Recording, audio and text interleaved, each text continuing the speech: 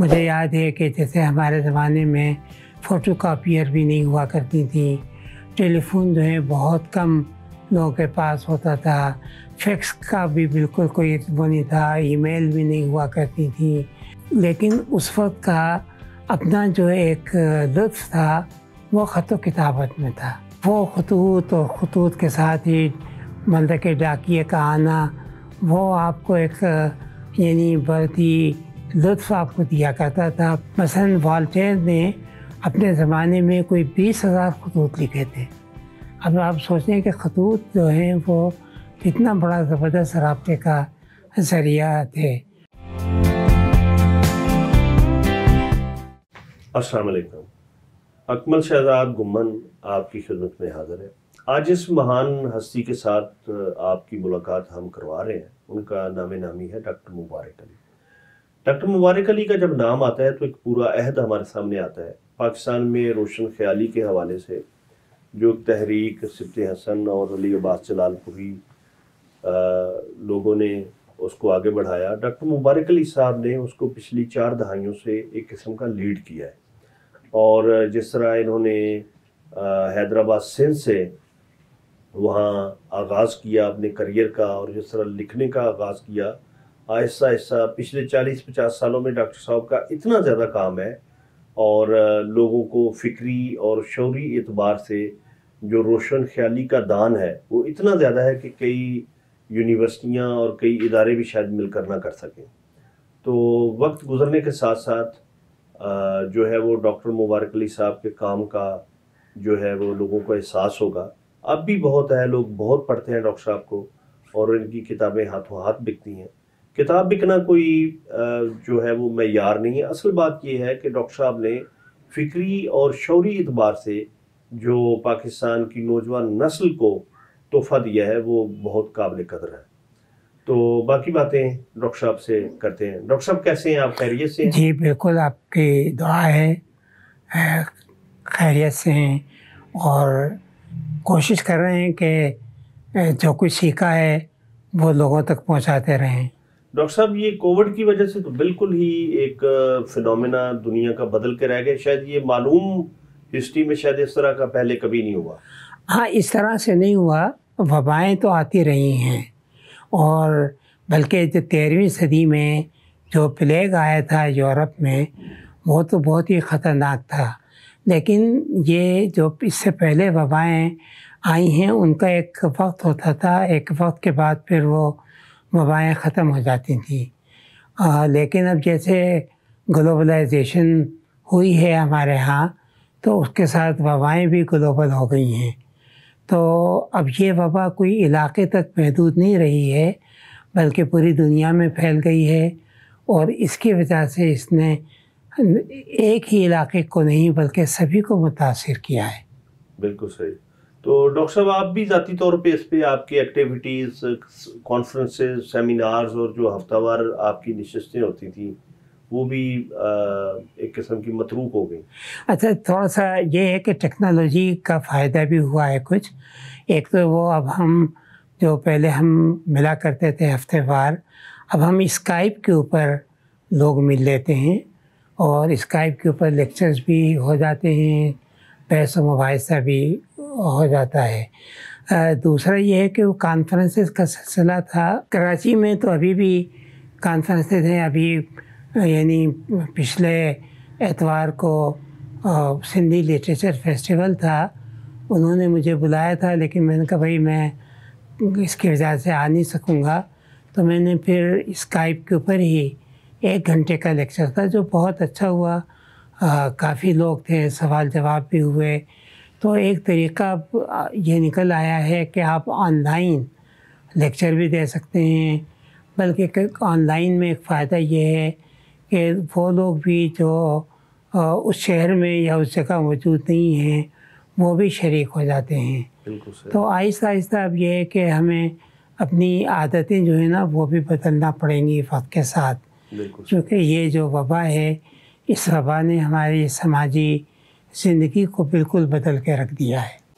Doctor साहब आप जो अभी टेक्नोलॉजी की आपने बात की तो जो बचपन में जिस तरह आपके सादगी और अतवारों रहनो रहन सहन और जो अतवार थे वो सादा थे तो वक्त गुजरने के साथ कितना फ़र्क पड़ गया?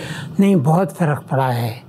देखें अब यह है कि आदमी वक्त के साथ आदि होता चला जाता है।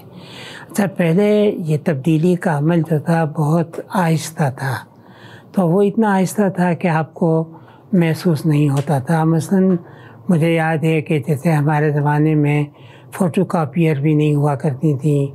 टेलीफोन जो है, बहुत कम लोगों के पास होता था। फैक्स का भी बिल्कुल कोई वो नहीं था, ईमेल भी नहीं हुआ करती थी।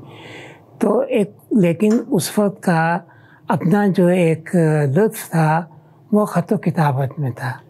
यानी जो लोग आप खतूत दिखते थे लोगों को, और खतूत उस वक्त चूँकि वाद ज़रिया थे, रबते का तो बहुत तवील खतूत होते थे। तो वो खतूत और खतूत के साथ ही मतलब के डाकिए का आना, वो आपको एक, यानी बहुत ही लुत्फ़ आपको दिया करता था। फिर ख़त को फिर आप एक ही बार नहीं पढ़ते थे, बल्कि ख़त को आप कई कई बार पढ़ते थे। और जब भी पढ़ते थे, आपको लुत्फ़ आता था। तो इसलिए आप देखेंगे कि उस ज़माने में लोगों ने बहुत तवील खतूत लिखे हैं। यानी मैं गालिब की मिसाल तो खैर आपको दूँगा, लेकिन गालिब के अलावा भी लोगों के ख़त ख़त किताबत जो है, वो बहुत तवील है। बल्कि हमारे यहाँ नहीं, वेस्ट के अंदर भी मसलन वाल्टेर ने अपने ज़माने में कोई बीस हज़ार खतूत लिखे थे। अब आप सोचें कि खतूत जो हैं वो कितना बड़ा ज़बरदस्त रबते का ज़रिया थे। तो अब ये सारी चीज़ें ख़त्म हो गई। अब जो ईमेल आती है, ईमेल के अंदर तफसील नहीं होती है। ईमेल की ज़बान जो है वो भी आहिस्ता आहिस्ता मुख्तसर होती जा रही है। तो वो जो आपस में रबते जो थे, उनकी शक्ल जो है ज़ाहिर है वो बदल गई है अब वो। लेकिन जैसे जैसे शक्ल बदली है उसके साथ आपको भी अपनी आदत, आदतों को भी बदलना पड़ रहा है। पहले टेलीफोन जो है, वो एक बहुत बड़ी नियामत होती थी। अब हर शख्स के पास मोबाइल है। मोबाइल के ऊपर लोग जो हैं, पहले से ज़्यादा रबते जो है, वो कायम कर लेते हैं। तो ये तब्दीलियाँ जो हैं, इनका मतलब कि मस्बत असर भी है मनफी भी है। डॉक्टर साहब आपका बचपन कैसा गुजरा और कहाँ गुजरा? अच्छा मेरा बचपन अगर आप देखें तो दो शहरों के अंदर गुजरा है। एक तो मेरा आबाई शहर था जो राजस्थान की एक छोटी सी रियासत मुस्लिम रियासत थी टोंक। बल्कि मैं पंजाब वालों से कहता हूँ कि अख्तर शेरानी का वतन था वो।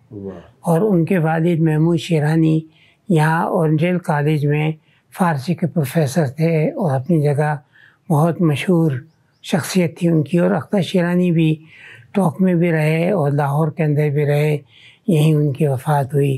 तो ये एक छोटी सी रियासत थी और चूँकि अंग्रेज़ी दौर आ गया था, जंगें ख़त्म हो गई थी तो अब ये वालियान रियासत जो हैं, इनको एक शौक़ हो गया था किताबें जमा करने का। तो मशायरे भी हुआ करते थे और नादिर किताबें भी जमा करते थे आलिमों की सरप्रस्ती भी किया करते थे। तो वहाँ पर ख़ास तौर से शौक़ की बात यह है कि वहाँ मदरसे बहुत होते थे और वहाँ मतलब के कुरान के हाफिज़ बहुत होते थे। अच्छा। दरबार हाई स्कूल भी था जहाँ पर के इलाहाबाद यूनिवर्सिटी से उसका इलाक़ था जहाँ पर मैट्रिक हुआ करता था। लेकिन मदरसे और वहाँ पर फ़ारसी, अरबी और कुरान शरीफ की तालीम ये बहुत होती थी। और मुझे भी इब्तदाई दौर में मेरे फूफीजाद भाई ने मुझे एक मदरसे में दाखिल करा दिया था, जहाँ मैंने पहले कुरान शरीफ पढ़ा, फिर उसके बाद मैंने वहाँ फ़ारसी भी पढ़ी और उर्दू भी पढ़ना शुरू की। तो अभी मैं ग्यारह साल का था कि फिर मैं हैदराबाद आ गया। तो बकाया ज़िंदगी फिर मेरी हैदराबाद सिंध में। वैसे डॉक्टर साहब ये बड़े जो मदरसों के पढ़े हुए हैं वो बड़े बाद में ख़तरनाक दानश्वर साबित हुए। अच्छा पहले मदरस मुझे और मदरसों का तो इल्म नहीं लेकिन मैंने जिस मदरसे में पढ़ा है वहाँ अरबी के आलिम भी थे फ़ारसी के भी थे उर्दू अदब भी पढ़ाया जाता था और मैंने बल्कि शुरू का इब्तदाई ज़माना था हिंदी भी मैंने सीख ली थी। अच्छा। लेकिन आहिस्ता आहिस्ता हिंदी का इस्तेमाल नहीं हुआ तो मुझे अब अपना नाम लिखना याद रह गया है। अच्छा लेकिन ये था कि वहाँ जो एक बड़ा मसला था वो ये था कि जदीद इल्म नहीं पढ़ाए जाते थे। हम्म, यानी रियाजी नहीं पढ़ाई जाती थी। तो जैसे मुझे रियाजी के बारे में बहुत महदूद मालूम थी। लेकिन फ़ारसी के बड़े आलिम होते थे अरबी के होते थे और मजहबी तौर के ऊपर मतलब कि उनका इल्म जो है वो काफ़ी यानी बढ़ावा होता था। तो ये बातें अपनी जगह सही हैं बचपन में बचपन में डॉक्टर साहब ये तख्ती वगैरह लिखना है? मैंने मैंने बहुत लिखी है तख्ती चूँकि तख्ती का रिवाज था और तख्ती लिखने का एक फ़ायदा ये हुआ है कि मेरा रस्म ख़त आज भी अच्छा है। लेकिन जबकि मेरे वालिद कहा करते थे कि मेरा रस्म ख़त कोई इतना अच्छा नहीं है क्योंकि इन लोगों का तो बड़ा पुख्ता रस्म ख़त बहुत अच्छा होता था। लेकिन मैंने काफ़ी तख्ती भी लिखी है और तख्ती लिखने का फ़ायदा यही था कि आपका हाँ, लिखाई जो है बहुत अच्छी हो जाया करती थी।